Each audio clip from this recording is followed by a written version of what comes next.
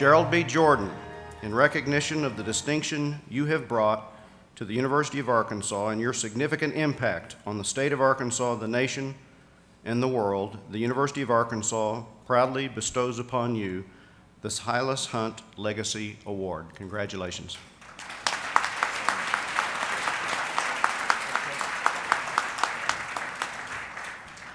Wow.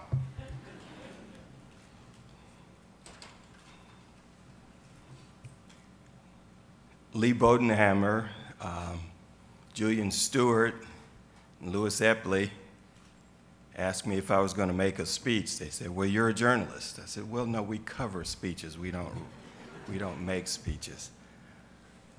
I did make a few notes that I'm going to give to Dr. Robinson and ask him to read.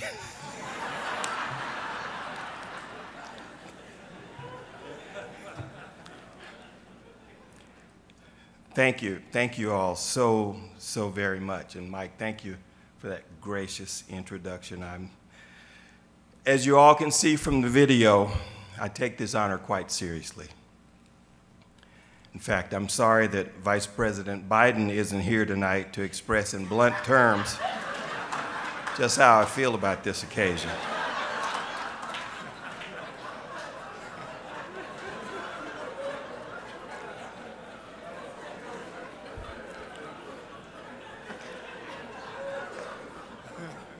I'm so flattered, so flattered that the committee would select me. More flattered to be included in the company of my distinguished fellow honorees, and most flattered to follow the inaugural class of Silas Hunt honorees. What a time. Now, a time, when I worked at the Boston Globe, I learned this. A time is an occasion that Boston ward heelers use when they're honoring one of their old pals. It also frequently coincides with when they're trying to get rid of someone. I recall from my Globe days that one character would say, Why don't we just give him a time and say goodbye to him? Well, let me say how much I truly appreciate this time, although I hope it's not goodbye. My thank you list is so long that I'm reluctant to call names, but Senator Pryor, please tell Barbara that my peeps are in the house again tonight. And for that, I am filled with joy and appreciation. There's one person here who has known me all my life, two people who've known me all their lives, And of course, my wife has been with me for half my life.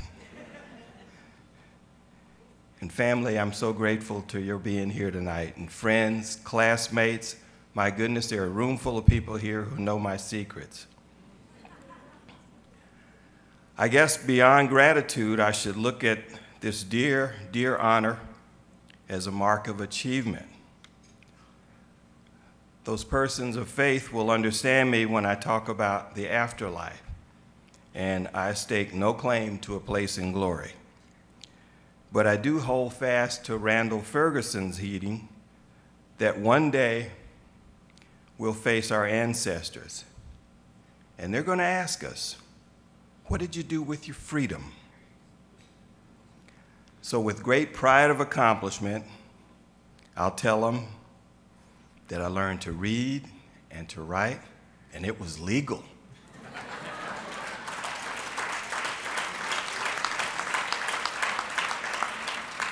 I'll tell them that I graduated from the university that they couldn't fathom or even dream of entering, and it was challenging. I'll tell them I voted, and nobody clubbed my head as I entered or left the polls.